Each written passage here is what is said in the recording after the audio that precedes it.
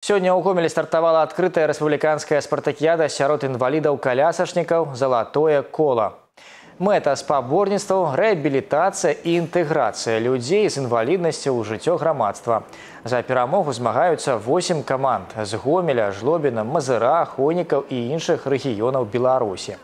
Таксама прыехалі дзве дружыны з бранска і смаленска. Усяго амаль 60 удзельнікаў спартакіяды і столькі ж памочнікаў, валанцёраў, суддзяў, медперсаналу і вадзіцеляў.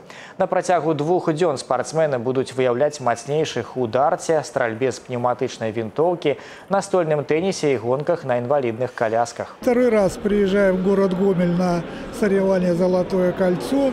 Очень нравится, понравилось по прошлому году. Устраиваемся на каждый вид спорта. У нас есть ребята-спортсмены, которые э, показывают э, как-то отдельно в каждом виде спорта свои достижения.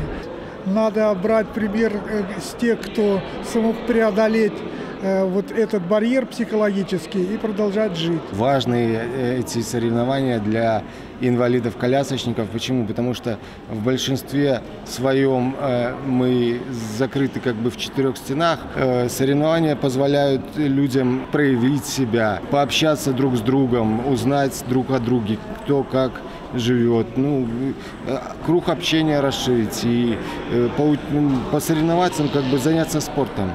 У бліжэйшых планах асацыяцыі інвалідаў-калясачнікаў адправіцца на трохдзённы турыстычны злёт у нараўлянскі раён. Тут збяруцца больш за 130 удзельнікаў з Беларусі, рассіі, Украіны, Малдовы і літвы.